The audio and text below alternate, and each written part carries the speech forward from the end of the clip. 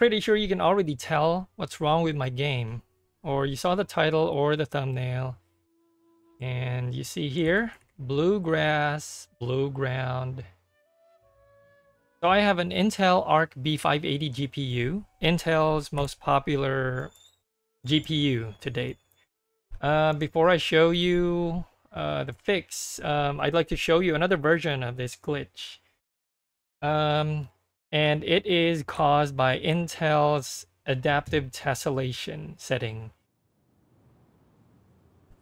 So here, the clearest sand you can ever see.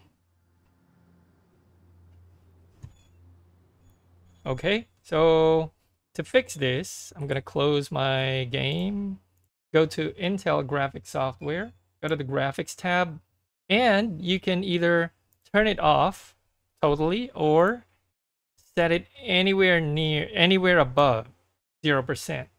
So as you can see, it's still turned on, 1%, start game. And you'll see that gonna be gone. Okay, so for reference, I did everything.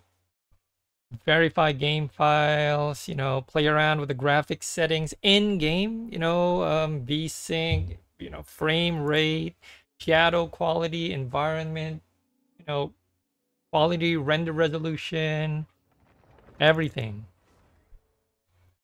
I didn't have to reinstall my graph my my graphics drivers.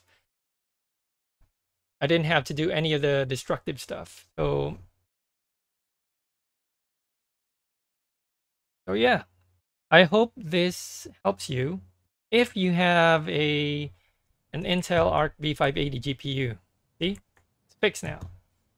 And additional proof here in you know the Dawn Winery statue. Um it's gonna be, you know, again fixed.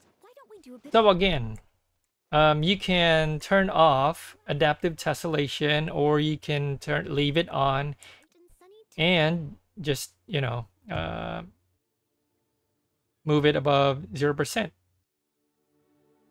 If I wanted to bug again, I can just turn it off, relaunch the game. That simple. Okay? I hope that helps you. You know, maybe more than it helped me, but there, you know, the, the GPU is admittedly not that popular. So again, stay safe, stay chill, stay cool.